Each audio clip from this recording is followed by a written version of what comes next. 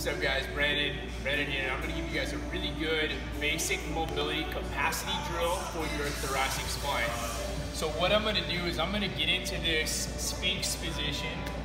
My hands are gonna be down, I wanna it in my elbow, but the key here is my lumbar spine is in slight flexion, so you don't wanna be extended, okay?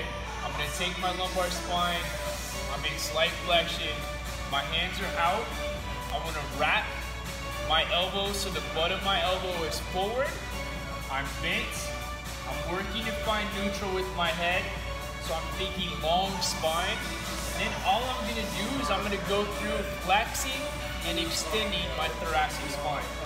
So it should look like this or something like this.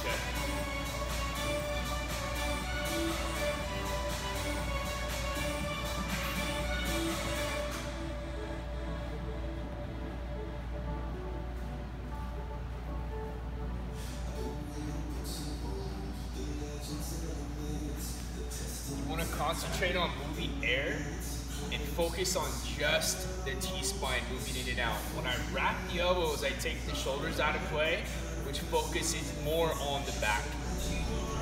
With your hands dialed into the ground, begin to take your spine in flexion and extension, focusing on the thoracic segment. segment. Breathe and move air in and out.